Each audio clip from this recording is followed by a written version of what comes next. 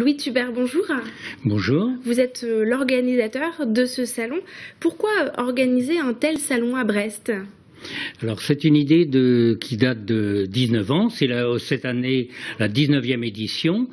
Euh, ce forum a été créé par les Lions Club euh, du pays de Brest. Et qu'est-ce qu'on trouve alors dans ce salon? Alors je voulais vous dire d'abord qu'est-ce que c'est que Forum Up C'est la rencontre des jeunes vers des organismes de formation afin d'obtenir un diplôme, une, qualification pour accéder très rapidement à un emploi. Alors, quels sont les exposants que les étudiants vont pouvoir euh, découvrir lors de ce salon Forum App Alors, cette année, euh, nous intégrons huit nouveaux partenaires. Hmm. Au total, nous avons 66 partenaires qui euh, représentent plus de 137 métiers sur 75 stands. Alors, quel métier, par exemple, on peut découvrir On a les métiers, bien sûr, agricoles et horticoles, les métiers de l'agroalimentaire, tous les métiers de l'automobile, le bâtiment, les métiers de bouche, l'hôtellerie, le tourisme, les métiers du cheval, les métiers d'imprimerie, les métiers de, multimédia.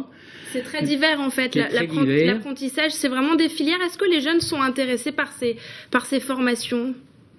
Euh, si on en croit la progression d'année en année euh, de la fréquence de nos jeunes, euh, l'année dernière, nous avons fait, avec un comptage plutôt policier, 4200 entrées et 2400 jeunes sont venus poser à nos organismes de formation de, les bonnes questions parce qu'ils n'arrivent pas sur le forum Forum App en touriste, ils, ils viennent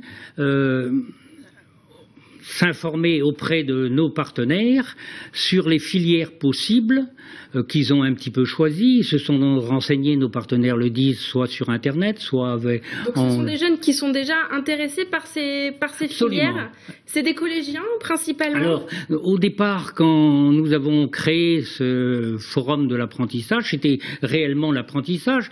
Euh, donc c'était les jeunes de 4e, 5e et 3e et ça s'est ouvert à d'autres secteurs hein euh, Ça s'est ouvert, euh, nous avons intégré les bacs pro lorsque ça a été créé, puis après les BTS. Et depuis cinq ans, nous avons l'alternance avec des établissements comme l'école supérieure de commerce, qui s'appelle Business School maintenant, puisqu'ils ont, ils se sont alliés à plusieurs écoles de commerce. Nous avons bien sûr euh, l'UBO, des grandes maisons comme des CNS, et quand vous rencontrez par exemple des, les DRH donc euh, de grandes maisons comme des CNS, ils vous disent qu'ils ont un petit peu changé leur, leur façon de recrutement. Euh, ils préfèrent, euh, bon, bien sûr, ils continuent dans des grandes formations comme Polytechnique, voire les écoles d'ingénieurs, mais aussi ils s'intéressent de plus en plus à des jeunes qui sont à bac plus 3, voire bac plus 5 en alternance, qui ont le savoir et le savoir-faire. Merci Louis Tubert de nous avoir euh, présenté ce salon Forumap qui aura donc lieu ce samedi à Brest